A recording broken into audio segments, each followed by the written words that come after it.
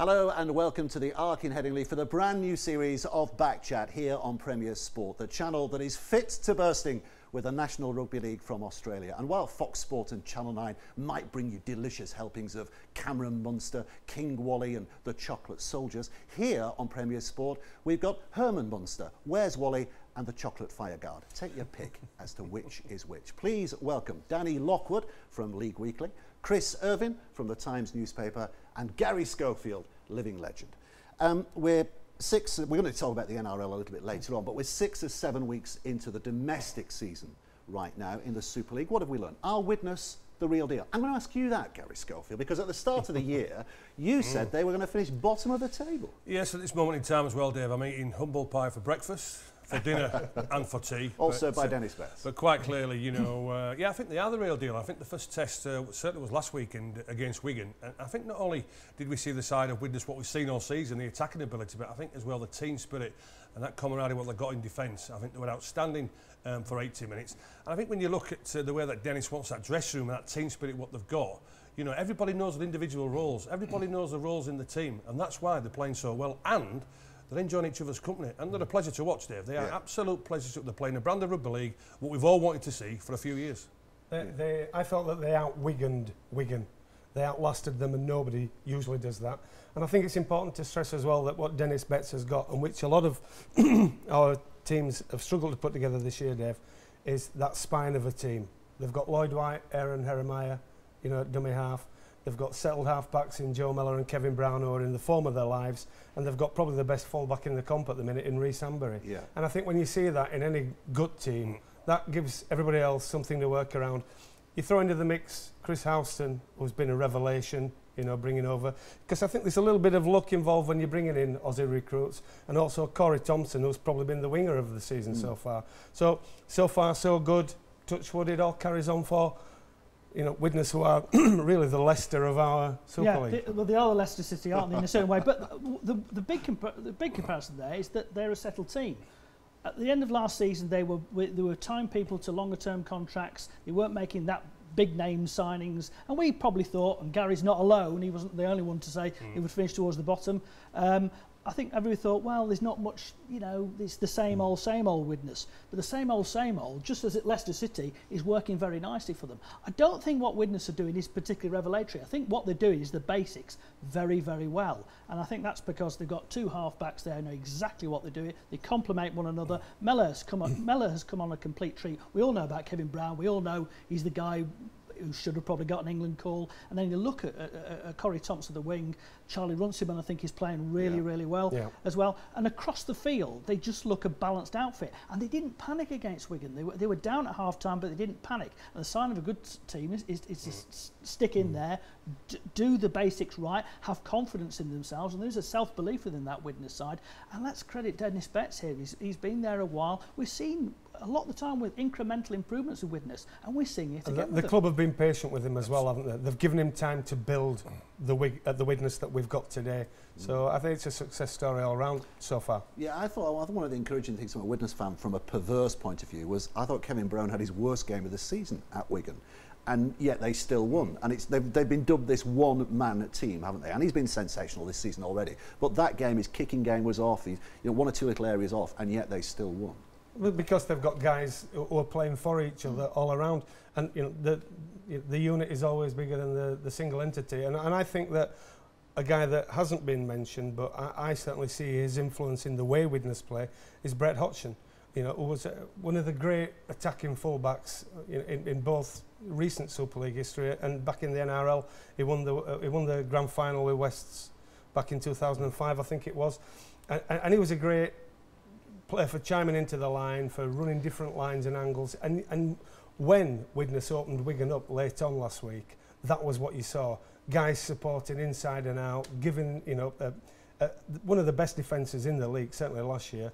Too much to think about for them to handle. I think the other thing as well, coming up at Easter, they've got two big games, haven't they? They've got Warrington, which is the big game. One plays two on Friday, and then on Monday they've got Saints at home. It's a, two mm. big, two further big mm. tests for them. Come through, th come through those, and you really are going to consider Widnes they are going to be a top four side. I think you know, if they, if they can they can hang in there, everybody's kind of thinking when a bit like Leicester City, when is when are the wheels going to fall off? Yeah. Maybe they will, but maybe they won't. I just wonder. I just wonder how long it's going to be before we get we get bored of the Leicester City analogy this year with Widnes. If you're looking at teams to match them this year, undoubtedly, if you were picking a team now who you thought were going to pick top of the table, you've got to say Warrington, haven't you? Yeah, we, without a doubt. And uh, I think last season as well, I was again a, a little bit critical. Well, I was very critical of Sandow, and I think I think I was right as well because he came over with the wrong attitude. I think his attitude, well, well, you know, I'm a very, very good rugby league player and I can handle Super League quite easily. I didn't, he didn't realise at times how tough Super League was. And I've, meant, I've answered this question many, many times now, is that I never ever said that Chris Sandow wasn't a quality rugby league player. He is a quality rugby league player, but the great thing for Sandow is, okay, he's got Gidley at the side of him to take over the organisation and take that pressure away, but he's got a coach who encourages him to chip over the top, to play what mm. he sees and to play that maverick role. And uh, we've certainly seen the best of Sandow, but Gidley as well. But I think two players as well who I think surely at this moment in time have got to be in front running for the Man of Steel. I think Ben Currie's been outstanding yeah. and Matty Russell as well at fullback. He's been absolutely brilliant. Yeah. And Warrington and Widnes, and I say by far the two best attacking teams at times are showing Warrington at Catalans showed great tenacity in defence and the team spirit they've got Widnes. I'd say we're winning for the cracker this Good Friday. Yeah, ben, I mean Ben Currie played a couple of games at centre. He's a natural back rower, mm. a bit like Bateman last year, wasn't it? Um, but, but in the back row he's world class. But even in the centres, he, mm. he, he did a very good job as well. Well, those are pretty interchangeable positions these days. The way the modern game has evolved, you look at Brett Delaney, you know, centre to back row. You know, Carl Ablett can do it. Uh, the game's littered with guys like that.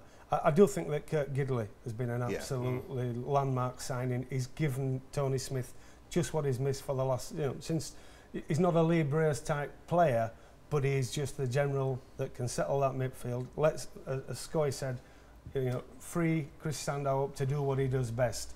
And when you, uh, and of course, let's not forget he came in late last season. Pressure came, was I on. Mean, he, came in under a cloud. I mean, he'd taken an uh, absolute battering at Parramatta, he, hadn't he? He had, you know, and, and it's difficult to alter structures. He's had a full pre-season. He's been able to get to know the guys around him. he's being able to understand what his coach wants, and he's and he's delivering and he's delivering in absolute style. He's, yeah. he's a confidence player, isn't he? If if if, if if the coach believes him, eh, which Tony Smith does implicitly, um, he, this guy's going to deliver. We saw it in South Sydney, and then we didn't see it at Parramatta. I mean, he can blow hot and cold in many games. He can look defensively very very vulnerable, and then he'll just produce some magic. I mean, the drop goal to win the game at Salford in that dramatic comeback from 30 points to 12 down to win the game 31-30. He scores the late tries, uh, another comeback win at Catalans, uh, another another great performance last weekend. You know, he's, he's a man of steel shout at this at this uh, early stage, and he's an exciting. I mean, we've talked about Warrington for many years. The next Lee Briers, you know, they've mi they've missed that half that half backs. That's where they struggled enormously uh, last year. The one disappointment for me in a certain way, and maybe I'm a bit, a bit critical, is the, the two two Aussie halfbacks. And the thing about like but Witness, the two hmm. English halfbacks who, who, who, are doing the business. But I mean, they're the two teams at the moment, and that game, yeah. Good Friday, belter. Yeah. So who's disappointed? I mean, it's, it's very early, and we'd, we'd have to look back on the season as a whole to say how good a season it's been for certain clubs.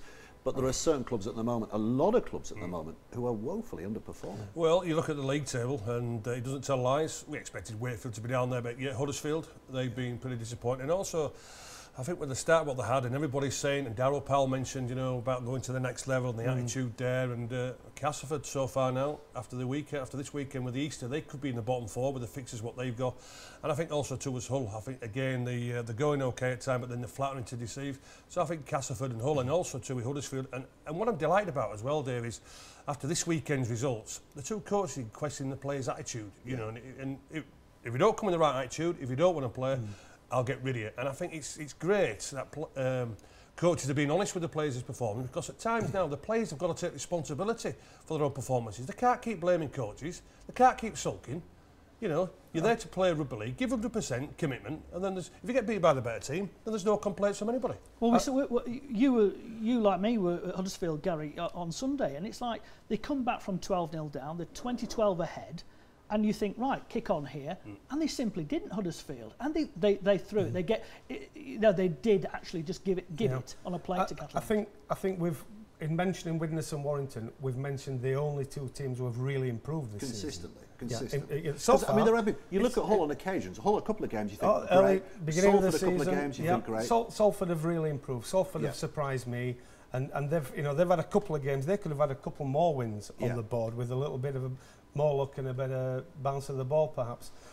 But I do think at the bottom of the table, the story so far is still to a large extent, uh, uh certainly if we're going to measure the shake-up towards the back end of the season, is injuries.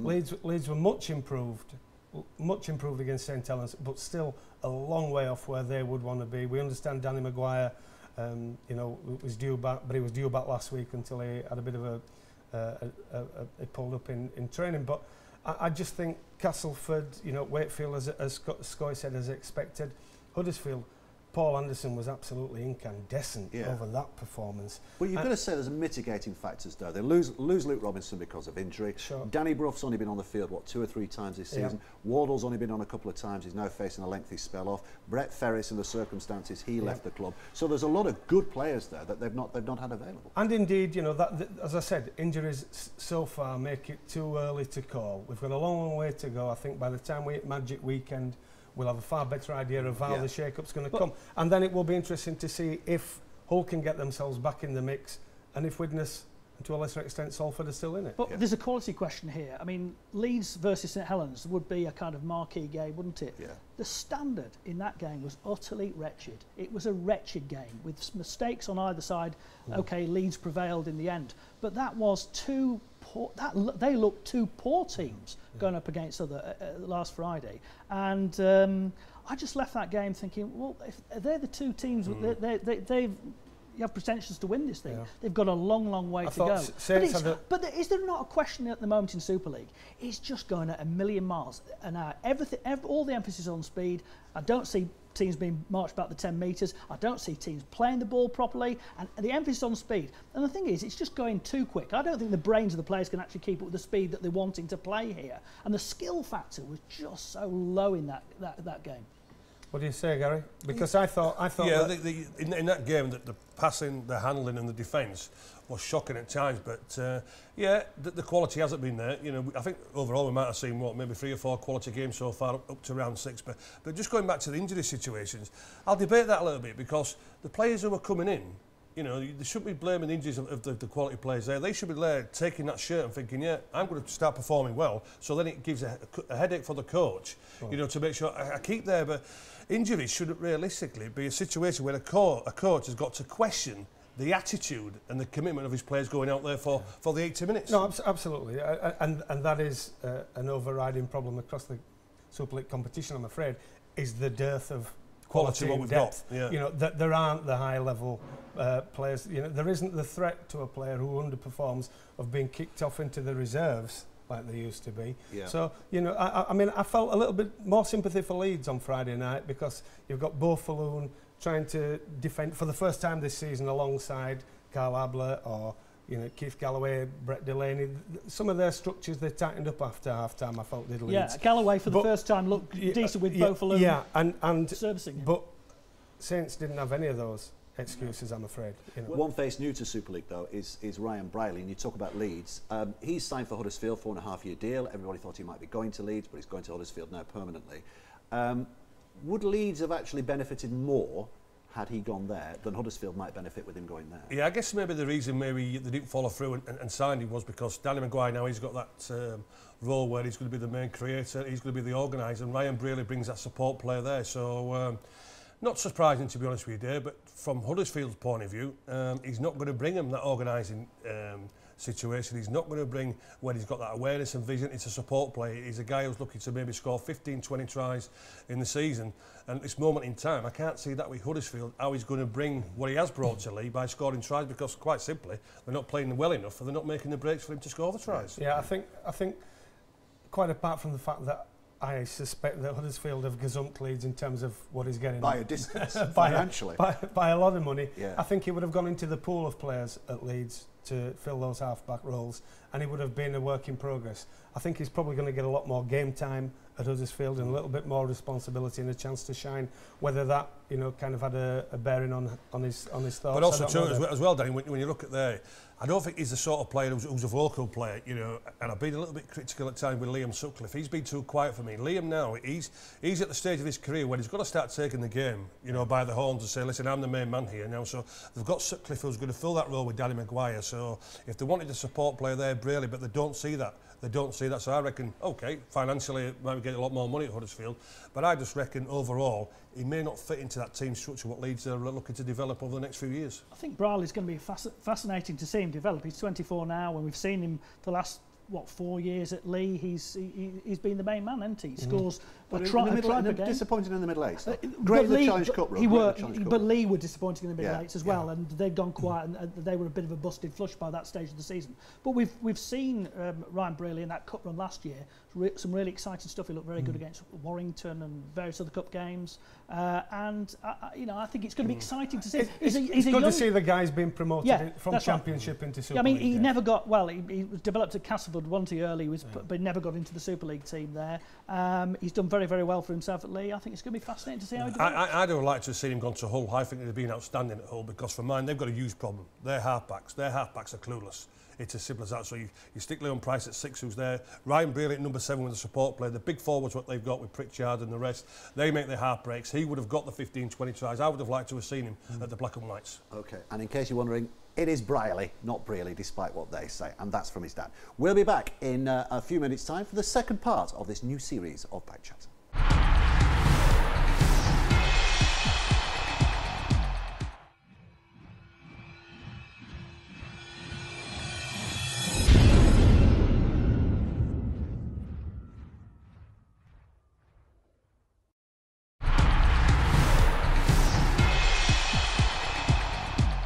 Welcome back to the Arc in Headingley for the second part of Backchat, this new series this year. We've talked already about um, the sides who maybe have underperformed so far this year. What about the sides who are down there that we probably expected to be down there? And, and a real merry-go-round already on the coaching, the coaching side. OKR, Wakefield. What have you made of all that? Well, we've lost two in, in Yeah. the first few weeks, um, which is uh, you know, the, the attrition rate is worse than last season. But uh, And the fellow who resigned from Wakefield last year is now coach of Hull KR. Yes, And the fellow who got sacked from Hull KR is now coach of Wakefield. it's all very, very uh, incestuous. I, don't- but th- then we have the Brian Smith situation at Wakefield, where I don't know. I mean, w- there's talk about whether he wanted to control the club, and Michael Carter saying that that's not the case, and uh, it all seemed a bit of a mess. It all, I mean, he sa- Brian Smith sa- helped save them, didn't he? Got them their place in Super League, but then I don't know. It, there's all kinds of accusations flying about lack of money and all the rest of it. But it just seems a pity that he came all this way and then just walks out. I mean, it just. It's not a surprise though, Chris, right. is it? I mean, he, he, took on a job that was probably it, it, was a salvation job at the time last year. But why I'd, did he sign I'd, another contract? Well, mm. well, because maybe he hoped against hope that there was a a pound fairy sitting around somewhere with a million quid to throw at him to help him get up into the top four those of us who are steeped in, in the game, certainly in West Yorkshire, know that that was never going to be the case. And, and I think that there was some friction between him and the, and the chairman, Michael Carter. I think there was a little bit of an attempt at Palace coup. If he fancied he could run the whole show, did, uh, did Brian. Uh, he's not a, the easiest character in the world to get along with, as I think most people in the media are, are aware of. And, and ultimately, you know, he, he just said, I've had enough, I'm going home. I think, as well, I think he's been a little bit disloyal as well, not just to the club but to the players, because didn't he bring in or make 19 signings as well this year uh, for Wakefield? So, uh, yeah, I think he's been uh, a little bit disloyal, and Michael Carter gave him an opportunity to come back over here because his career in Australia is finished, it's gone. And I'm with you, Chris, you know, why did he sign that contract again if he wasn't happy? you know, over the Christmas period, by all accounts, he's, he's phoning Michael up over Christmas dinner, wanting to play so many players and what have you. At the end of the day, I just feel he's bottled it. I do. I feel he's bottled it. Right. And, then, and, and then we've got the situation, at, you know, at Rovers where, where there's a parting of the ways there with, with Chris Chester.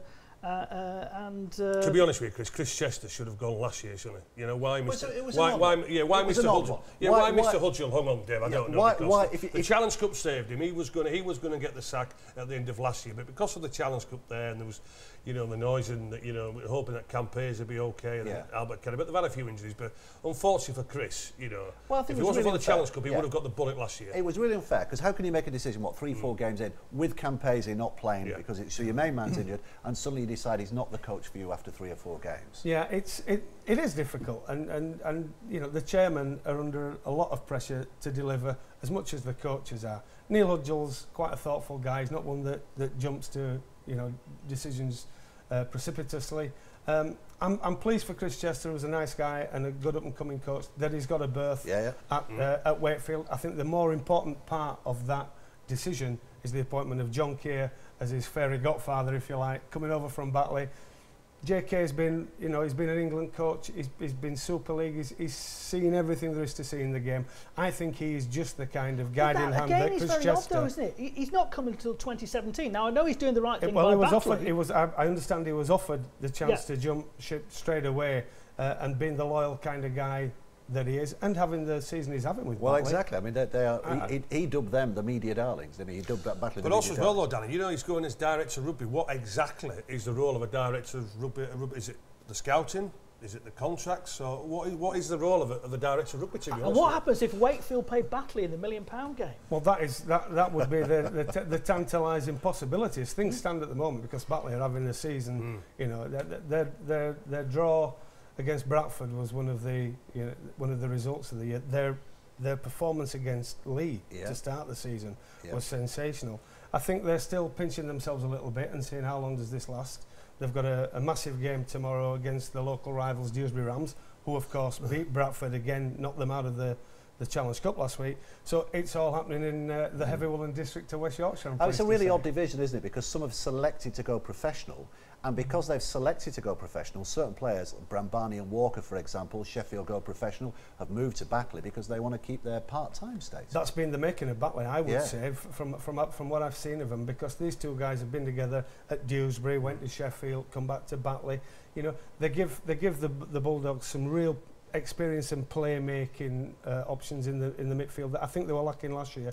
And, the, and, and, and of course, John Kay will get the best out of mm. every pound of horse flesh he has available. Yeah. Yeah. And that's what we've it's seen. It's an interesting division, though, isn't yeah, it? London, London, London Broncos. London, London Broncos have, have, have a great start there, and uh, which, which, which is encouraging. I mean, obviously, life at Ealing I think they're in Ealing. Uh, yeah. Through the London A to Z, they're at Ealing now. They were last uh, week. They were last Chris. week, okay. Um, but they seem to be they seem to be doing well. Bradford, they certainly wobbled to lose to lose uh, as they did and knocked out early the Challenge Cup. Mm. You know, these are these are these, this is a club that was winning the Challenge Cup not too many years ago, and they're out of it. And they they've had a bit of a wobble. Lee have had some wobbles as well. Mm. It's not so clear cut the championship, and it looks very well. Well, money money is not talking in the way that we mm. that it seemed to do last year when yeah. when Lee, when it was a two horse race between Lee and Bradford.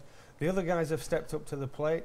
Um, th they're all making the system work, and I think if you're talking about an exciting division, yeah, we've got a lot going on at the top of Super League right now, but I think the Championship is the place to be because yeah. there's some cracking action week in week out.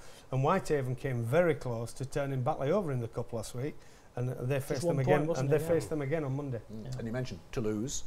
But not in that context, but Toulouse Olympique, and they're doing terrifically well as well in, in League One. They, they, they, they look. But Toulouse have always been a, a, have always been a strong a stronghold for Yeah. the game as well Yeah. in France, and I think we're just seeing a reflection of that in, in the in the talent pool that they've got there. In, in, in that in that, I still think a very strange. That National League One to me is still a very strange division. Some old traditional clubs, a lot lots of new clubs of varying quality. Well, it was, Um, prov- it was proven in the Challenge Cup, wasn't it? Was it five Oh. League One clubs were beaten by amateur teams in, Yeah. the, in the Challenge Cup? So that shows the quality well, it exposed the it Yeah. exposes certain T- weaknesses. Toulouse are probably Toulouse still half a league better Yeah, than they're League a One at the championship side, Yeah, aren't yeah, they? Which will, they will be next year. But you've got Toulouse in there, you've got Gloucester, you've got Oxford, you've got Newcastle, you've got Hemel. It's, it's a wide spread. Next year, we could have Canada. Yes, Toronto. Um, it, I understand it's an absolute done deal. Um, it's not quite as Canadian fully fledged as I think a lot of people are understanding, Dave. My, I believe that the, the, the team will be headed up by such luminaries as Brian Noble and uh, Paul Rowley, uh, recently departed of Lee, of course, and that there will be mostly English and French players based probably not too far from us in Leeds, certainly to start the season, and then going back to Toronto for a run of four matches, four home matches. The uh, League One teams will be funded, fully funded. They'll be paid to go over on a Thursday, play the match on a Saturday, fly back Sunday, so that we're not asking part-time players to take too much time out of their, of their week. And then they'll have another spell back here, and then another spell back in Toronto. And again, my understanding is if they make the playoffs, and if they have a mostly full-time squad, which they would have to have, um, then they have said they'll play the playoffs on the road. I can yeah. feel I can feel a volcano about to blow.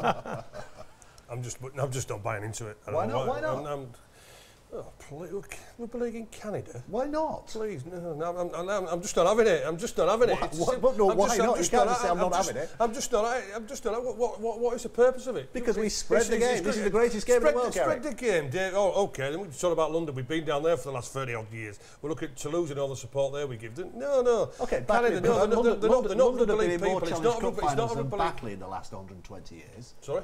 London have been in more Challenge Cup finals than Batley in the last 20 Yeah, oh, yeah but how much fun they have they had from the RFL in London and, and how many backups have they had? Well, how many times have been busting it and they've been fed out again? So don't, let's not buy into that one, Dave, to be This honest. is self-funding. This is self-funding. By they're who? Not taking by it, who? They're not taking it. They've, I understand that the consortium behind the Toronto project are worth hundreds of millions. And these are a couple of Canadian, Canadian businessmen. Th these are Canadian who businessmen. Came to the, who were in the Midlands, not on any other business to do with sport, were sitting in a hotel room, saw Super League on the television. And thought, and we've got to have that. Wow, we've and got to have this. And they're funding it. And you're talking as though there isn't already rugby league in Canada. There is. There's a competition in Toronto, a very small limited one, It's played out on the west coast in British Columbia. So it isn't as though we're starting from absolute scratch. There is Okay, well, how, knowledge how and is it going to be a. Canadian club then when it's going to be full of Englishmen and, and uh, Frenchmen? they Uh, will- what, Based what identity, what, Based identity, here. what identity has it got? And based over here? Does that matter? Load of rubbish. Load Does that matter? rubbish. I think No. the thing is, you know, whether the Mount, the Connect, Toronto Mounties or whatever they're going to be called works or not. If you look at the if you look at the 121 year history of rugby league, we're still we, we, we, we're still going. we've gone very, not far at all, have we? You know, the days of Ebervale, Coventry, Tredegar, you know, Crusaders and all the rest. They don't, they don't, don't exist anymore. What's, yeah, what's to lose, Scoy? What is to lose? If it's not our money, if it's somebody that is enthusiastic... To lose are the leaders of the division. it, it is someone who is enthusiastic and passionate okay, about, so this about can, so this evangelising can, So this Canadian team then, who, who, what sort of players are they going to get? What sort of players are they going to get? Oh, can I come out of retirement? Can I join them? You can, can I come out of retirement? You, you Paul Mueller, the, you know, Tommy Mack, can I come out of retirement? Because I'll be able to play at that level quite easy. I'll be able to do spells of 10, 10 15 minutes each half easy. What sort of quality of players? Toronto Mounties have their we've, first we've signing. Not, we've not got enough quality as it is in Super League, never mind the, the, the Championship or but, the... What sort of players well, are they going to get? You're tapping into you're tapping into a, a market which is Canadian football, which is very much like American football, where the vast majority, where thousands of elite athletes get to the end of the college career and they've got nowhere to go. They can't get into the NFL or the CFL, so a lot of them are lost. Or they go into rugby union, which in the USA has got 115,000 registered players and 70,000 in Canada. So there's a massive opportunity and a marketplace of people that are understanding of rugby well, already. Well, we're going to take a worldly view uh, at the Premiership Rugby Union. Recently, Saracens took a game to New York. Um, so we're going to take a worldly view. But it, it, it does seem very kind of small. They're going to play in this very small beer competition. Okay, if that's the way the way through, so be it. And if they do get to Super League level, you know, fantastic. But it does seem a bit odd that we're going to have a Toronto club and they're going to call Toronto and they're going to be based in Leeds. Well, not, Uh, you know, can, can I just say there's going to be two people who are going to be delighted with this. That'll be Paul Rowley and Brian Noble because it's going to be nice little jolly boys from however long it lasts, fellas. Enjoy because I don't think it'll last long. Well, we shall see, but I've, i think I'm a little bit more optimistic than Gary is about that, and oh, I just see it as I, a win-win yeah, situation. I'm, I'm with you, Danny. I'm with you. I think that this game suffers from small-minded mentality. We've got clubs who get angry because the local press are reporting stories on them. For heaven's sake, we've got to get the word out. We've got coaches who David, won't we've been trying for the after 20 odd years to get the word out. We- you know, we've been but- but- We and here's can't- an opportunity. Lo- Here's London's an 220 opportunity. mile away from here, from Leeds. We can't even get it You down there. Point, you can't, can't no. point to one club and say it didn't work there, so let's not try it again. You've got to keep No, trying we- it and trying no, but we're and we're also living in a global age now. I agree, but, uh, but, but if you're talking about expansion, you know, we, we, we tried it. We tried it. Look at Sheffield. They only So get what do we do, Garry? What do we do? Do we say? I'll we tell you what we do. We can't stick, we stick to his own. We promote stick what to we've got. We we've stick, got. we stick get to what we've smaller got. and Exactly. smaller and smaller. We stick and to what we've got. We get Wigan, We stick to- Saints, Leeds, maybe turn We stick to what we've got and be loyal to what we've got and league's promote the short. products what we've got now, which makes us good. Forget about the rest as far But as who I'm are we concerned. promoting it to? We're promoting it to. A, a, to Unfortunately, we've been trying it for years and we're not going to get there. We- we, are not oh. going to get there. Honestly. Well, we all we're not give up gonna. We're not going to get there. We'll all have to We're not going to get there. But the thing is, is this this thing has to be planned properly. It has to it has has to Right, Chris Irvine, how long, serious how long do you think this Canadian destiny will last? How I don't do think you it will last. I don't think it will last. How long do you think it'll last, Danny? I think it'll go two or three years and will give itself a chance of a foothold. I think we got. I think we need a bigger plan Yeah. to actually get into the American market. Uh, and I was over there recently, and I know that there's an appetite for it, and there are plans for it. Yeah. You know, will it happen? Well, we need some visionary leadership, um, and I still hold out the hope that we will have a bit of that. And I would suggest to you that if in 10 years' time Super League is made up of Wigan, St Helens, Warrington, Widnes, Hull, Hull KR, then we can forget it because people are not but- interested. but Dave, people are, the TV audiences 20 are dwindling. The, the, the, the press coverage is dwindling. If we have a Super League that is full of Toulouse, Catalan, the Canadian team, and your Wigans, your St Helens, and Leeds, then And- suddenly But you've that- got something that, that people was- are interested. in. But that was the vision spelt out 20 years ago this month Mm. with Yep. Super League. Um, and we had Paris Saint-Germain, the impossibly glamorous Paris Saint-Germain, sure. who lasted two years. Uh, now we do have Catalans in a traditional area, that's great. But Super League hasn't advanced very much from when we were talking about that thing 20 years ago. So if, the Toronto thing, if the Toronto correct, the, the Toronto thing is properly funded and it can work, I wish it well. I wish it well. But the history of rugby league suggests that we haven't, when it comes to expanding the game, we've got a very poor history. Well, maybe we need someone else involved in the expansion of it, Yeah. Chris. And maybe we look at doing it differently than how we've done it before. Yeah. You keep banging your head against the brick wall, you're going to carry on getting a headache. That's you right. try and find a door to open. The NFL can't get enough games on at Wembley.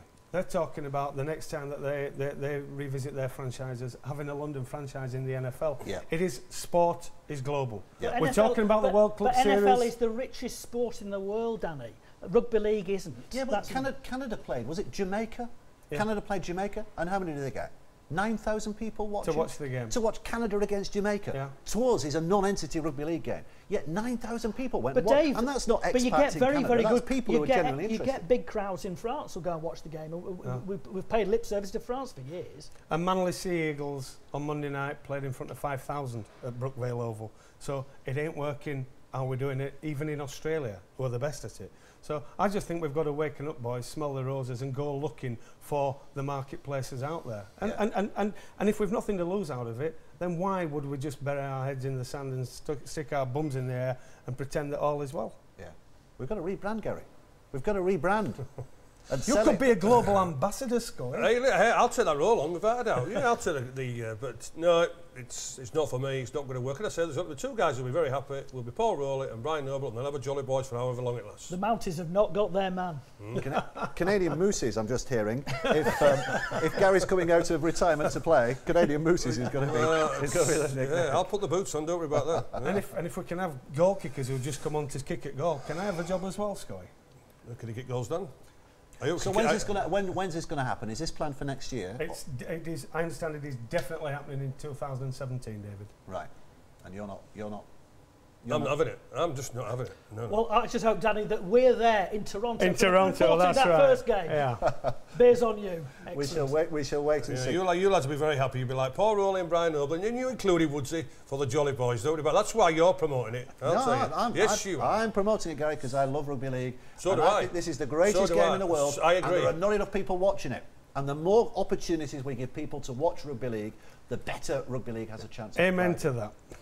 And if we stay as we are, Hallelujah, brother. if we stay as we are, we're condemned. We're condemned. Anyway, on that bombshell, we're back in part three in just a few moments' time to talk about things NRL. It's been an interesting first three weeks down under as well, hasn't it?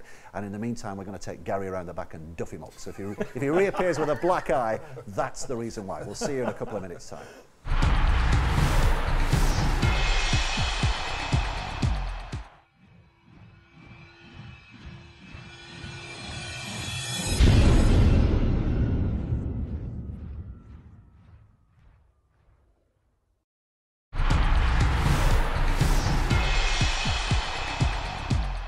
Welcome back to the Arc at Headingley for the third and final part of this week's back chat. And of course, uh, tradition tells us that we have to talk about the NRL in this uh, final piece because all the NRL action coming up this weekend Friday, Saturday, Sunday, and Monday, with it being Easter.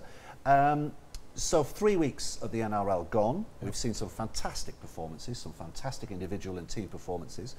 But um, a couple of teams really struggling. Sydney Roosters have yet to get a win on the board. Um, and New Zealand Warriors. I at the start of the year, I thought they were going to be a good bet to do something this year. Isaac Luke signed, yep. um, Tuivasa Sheck signed. They're dreadful. They're absolutely woeful, Dave. I think Sam Tompkins got out at the right time. Uh, they just don't seem to be able to find a formula that works for them.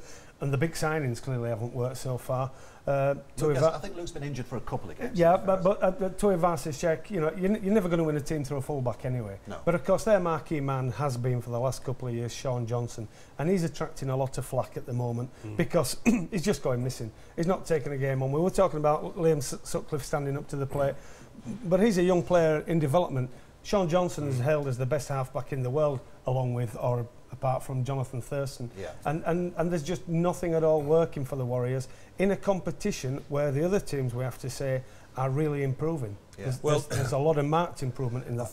I think for the last few years I've been a one-man team in Sean Johnson, and, and quite clearly, if he's not performing, everybody else, as you mentioned there, Danny, they're going missing. You know, they just think, well, if he can't perform, then I'm, I'm not good enough as an individ individual, and we're not good enough as a team. So, and rightly so, we all know what the Aussie media like. You know, he is getting. I, I saw uh, last week plenty of flack, and. Uh, I'm afraid he's going to be standing to be counted for. You know, he, he's the main player, and if he can't get reaction from the players around him, then he's going to take that full responsibility. They're a mm. one-man team. I don't, I don't, think it's a surprise, by the way, the Warriors still struggling. I think you mentioned uh, the Roosters N- No Well, wins they- I from mean, three. They yeah. are. They look like a. a, But a they- team. Well, they've got but they- Mitchell Pearce coming back, haven't they? They, at- they at some have, they have at some point, but the fact is that that's the team that's finished top of the pile the last three seasons, Yeah. and they're, they're now they're, they're now bottom. But isn't know. the stat that uh, the Cowboys lost their last four at the start no, the, of last Tam- year? the Cowboys last year lost their first four. First four, sorry, yeah. and went on. Uh, Mike Huddersfield Giants. They lost their, their first four and then went on to finish third. So you know it's not it's not all doom and gloom. It's But I very, think very- it's, the, but it's, Andrew it's one thing losing. It's the manner is, of. it It's manner. And Andrew Yeah. McFadden is under pressure by all accounts. Well, know, in you say that, but I think the Mad Butcher's come out and said he's with us for the whole season, which is a really strange thing to say. He's, he said he's with us for the whole season. Well, Whatever could the kiss of death. Said, said the man stood behind him with a knife in He's his not called the Mad Butcher. For well, Yeah. I mean, he seems to have support. The other team who, who struggled early on, um, Manly, but they got a win last week. Really good, gritty, gutsy win. Yeah. New, and Trent Barrett, the coach there. He's, you know, t- uh, he's, he's, he's a popular guy. Yeah. Is, is Baz, as they call him. And I think it was a great weight off his shoulders to get a win under the belt. And it was great to see um, y y y Brett Stewart back at his best for Manly.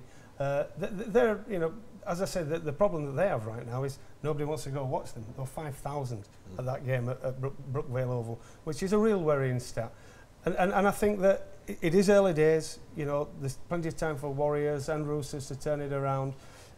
But the fact is this, if you can't get too far behind in that competition, not with the quality that there is right now. I think, the, I think the, yeah, the, the big, sorry, but the big problem I think with Manly is the reason at times where people are going and watch them is the style of player a little bit my old club leads you know, it's a style of play, you've got to play a certain style and uh, I just think at this moment in time over the last two or three years and maybe now under Barrett with the style of play they're playing, they are the Silver Tails, they are, well there was, you know, the, the club where everybody went to go to because they paid the highest uh, money. It's all about the style of play and at this moment in time, it's not that impressive. Mm.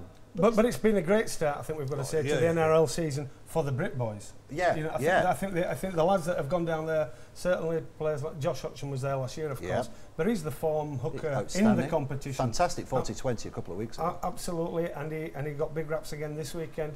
Elliot, Elliot White is now a stand-off half. Yeah. he can come back and play for England. yeah. Amazing. I think I think he knows his days are numbered at standoff. He's only covering for uh, for injuries. and, and of course, the, big, the weekend's big story, of course, was the potential uh, serious yeah. injury to Sam Burgess. Yeah.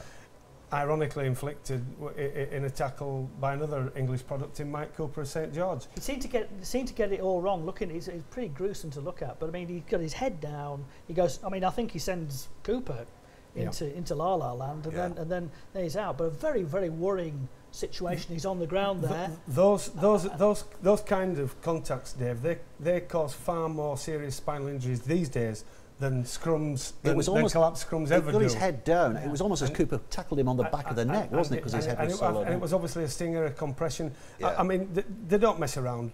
They don't mess around with injuries like that anymore.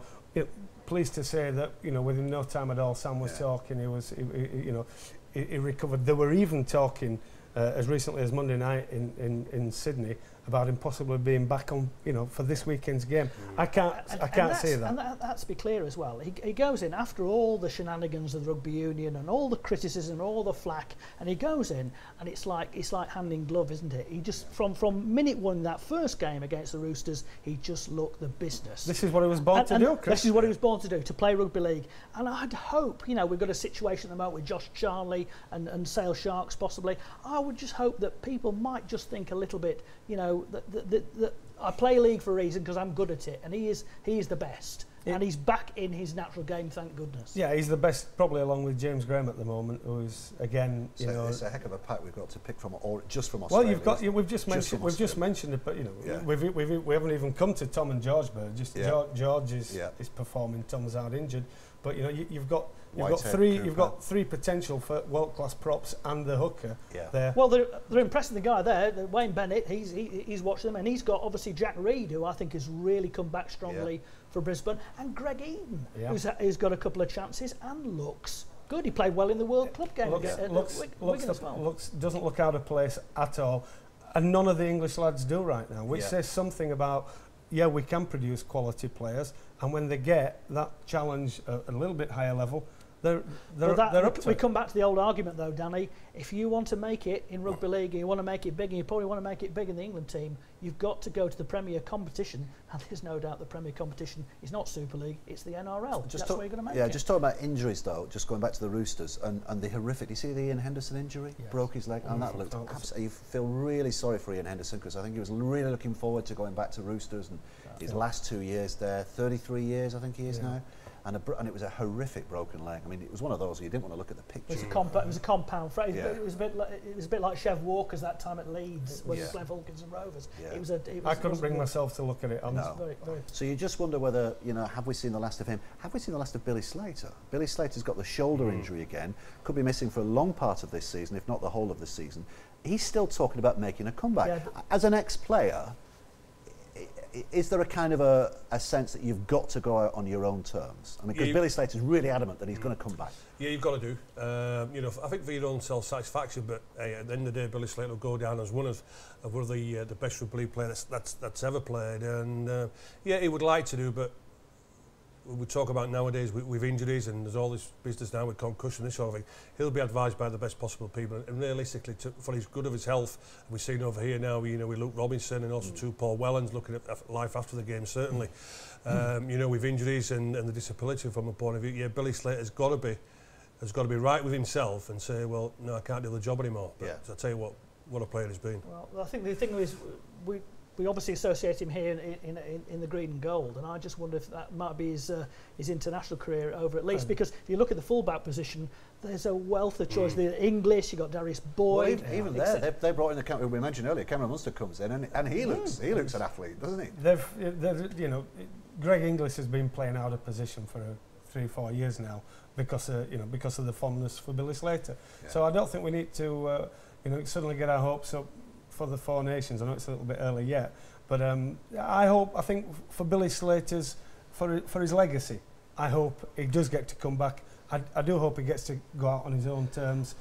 I, I think that probably his rep career is, is finished. Tell you what, though, Danny, when you talk about that, I, I think, and there's been a lot of attention in Australia on the English players who are doing very well, whether it's Graham or the Burgess brothers, or uh, you know, or Josh Hodgson, With it.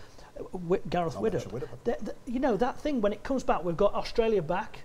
Yeah. Chickened out last year, didn't want to come. They're coming this year. It's going to be four nations. That England v Australia thing, th- there's going to be a lot, a lot at stake there. With And the there's a- Wayne Bennett frisson oh, as, as it's well. going to be tremendous. That I think Yeah. so. I think that's the first use of the word frisson on this show as well in two years. So that's good. Well done. Um, what have we made of the, the tinkering that they've done in the NRL? Eight interchanges now uh, instead of ten. They've also got the shot clock. So if the ball goes out, uh, they've only got 35 seconds, I think it is, to take a drop out, 30 seconds to pack down at a scrum, otherwise it's a penalty to the opposition. Um, and the bunker. Do we like the bunker? Do you like the bunker? Um, I can take it or leave it. Not- Woodsy. It yes. doesn't make any kind of difference as far as I can see at all. They've still got the potential for getting things wrong. There's still criticism across the media in Australia about it. Yeah, you're going to have teething prob problems with, with, with any new structure. yeah. But, um, but I think it's just reinventing the wheel. yeah. But it's a television device, isn't it? And actually, it makes quite quite good television.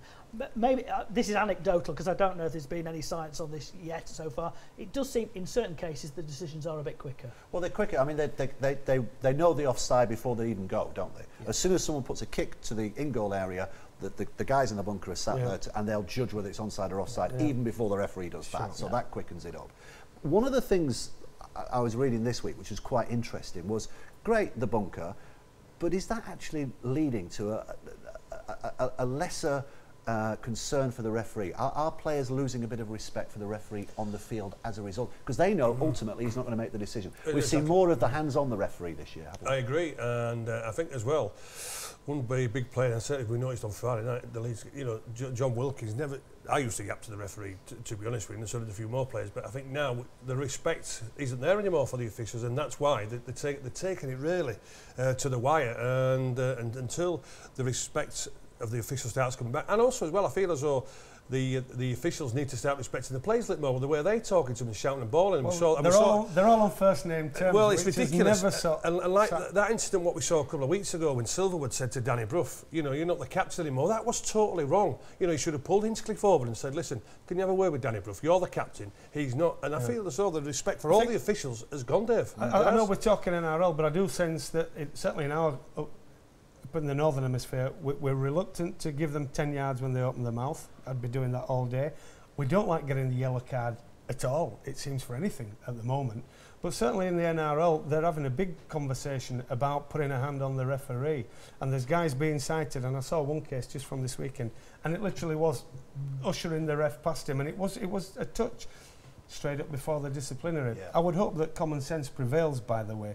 Yeah. But your point about the bunker, Dave, Absolutely, because th there is a sense, I think, from the players now that, well, actually, it don't matter what these two refs say, yeah, yeah. it's all back mm. to those four or five or six or however many they are underground. Yeah. You know, a and I think we're losing some of that natural authority that the man in the middle always had. And the Aussies have diluted it even further than I think was necessary. Mm. Shot clock, what do you make of the shot clock? Would you have enjoyed the shot clock in your playing days? You got to drop out under the sixth. Get on with it. get on with it. 35 seconds. Otherwise, it's a penalty. Yeah, get on with it. Yeah. Simple as that. You know why you're loitering about and this sort of thing. Yeah, I, I agree with it totally. And uh, and with interchanges, yeah, get it down. For, for mine, I think we should get it down to six. You know, because then the big guys get tired, and the little guys, you know, with the skill what they've got and let the ball do the work. Yeah, I think Yeah. it's, it's moving forward It's very an well. interesting dynamic, that, isn't it? The interchanges, because we're getting to judge who can do the 80 minutes, wh- which forwards are more valuable. Your James Grahams, for example, can can do your longer minutes. Um, and it's going to be interesting how the game you what, evolves. you, you, you mentioned that. You speak to, you, if you spoke to every forward as individuals, they would say, I want to play longer minutes. I don't want to be out there for 15, 18 minutes of coming off. I want to be out there. You know, take me off when I am tired after 55, 6, then put somebody on for the full 20 minutes. Players will tell you that. They want to play far longer minutes than what they are given the opportunity for. But the difference now between when you were playing and now, with due respect, is that the players are a lot fitter now, so the game's a lot faster, a lot more physical. So you couldn't go back down to having two interchanges or four interchanges. Well, I'm, I'm saying go back down to two, but yeah, uh, maybe six from there. But yeah, but also as well, you look at the scrimmaging from when it was in our days. That was a real battle and a real tussle. That took a lot of energy and that took a lot of uh, a, a lot a lot out of play as well, which the scrimmages and, and nowadays the, and the, the surf, time. And the surfaces make for a faster game anyway. But I think the conversation, the next obvious conversation we're going to have, Dave, will be about player safety. Yeah. Because we've already seen one or two injuries from players who are fatigued, who aren't getting the bodies into the right position in the tackle, whether they're making it or carrying the ball. And that is a natural consequence of players playing longer minutes and getting tired. And that's actually what the stated aim of the policy is. The first time we get a serious head injury because someone was tired and, the, and they blame it on that. And coaches will never, ever hesitate to find a scapegoat rule for you know, misfortune. And we do seem then, then, then we're gonna then we're gonna have another debate. And we've got an awful uh, uh, in the NRL. There's an awful lot of early season injuries. Yeah. There's an awful lot of them. I mean, and uh, maybe you know, the fact that players maybe are a little bit more tired, a bit more vulnerable. Then, then the player safety issue does does come. Well, do you not think then? You know, because I, I think one of the talking points could be where they're too far apart. Bring them closer together. Then bring bring back the five yard rule you know, because the 10, the 10 metres away, they're getting a, a lot of steam up there. So bring them, bring them closer together so they can, that impact and that contact with the speed what they're going at, slow well, it down. The, the argument against that is from, from the days of the five-yard rule to where we are now is that defences are so well organised that if you took it to a five-yard rule, it would completely kill the no, game. No, but Dave, what, what, what the attacking team, what they have to do, they just stand deeper. That's, that's what you have to do. You have to work it out. Just stand deeper a little bit, but you could get a rugby union situation where you just got it, it just seems to be just it, just a collision it, it there be, and nothing, nothing. A war of attrition. It yeah. literally would be five drives and a kick and yeah. wait for someone to make a mistake. And and the whole thing, the whole, if you like, the the philosophy of the game at the minute is is to widen it, is to deepen it, is to make it more attacking, you know, attacking an attractive. I'll tell you one thing. That the wouldn't, that one thing the NRL they do police, and that is that they play the ball properly, and we're certainly not seeing that in this country. Just, just well, we've seen it for the last five, five six years. years it's absolutely. I mean, some of the games it's just farcical watching it. Again, it, it, this thing about trying to speed. The, the, the one thing that the Aussies have an advantage of there is that they do have two referees, so Yeah. they can police it properly. Yeah. We're Well, already, more a- we're than already asking We're, an we're heck going of a lot. to we're gonna have to leave it there. We're going to have to leave it there. But thanks very much, gents. Uh, just a quick reminder before we go of uh, what you can watch this weekend on uh, Premier Sports. It's Easter weekend, so there are no Thursday matches this week. But on Good Friday, there's a couple of games: the Rabbitohs against the Bulldogs, the Broncos against the Cowboys. On Saturday, a couple of games on Saturday: Canberra Raiders against the Gold Coast Titans, and the Roosters against the Sea Eagles. Big test for the Roosters against Manly. On Sunday, we've got just the one game the Dragons against the Panthers. And then on Monday, three games on Easter Monday to whet your appetite. Starts at 4 a.m. The Warriors against the Knights. Both those teams need a, a win desperately. Tigers against the Eels at 6 and the Sharks against the Storm at 9 o'clock. That's as far as we go for this week. Our thanks to Danny, to Gary, and to Chris. Until we see you again. Goodbye.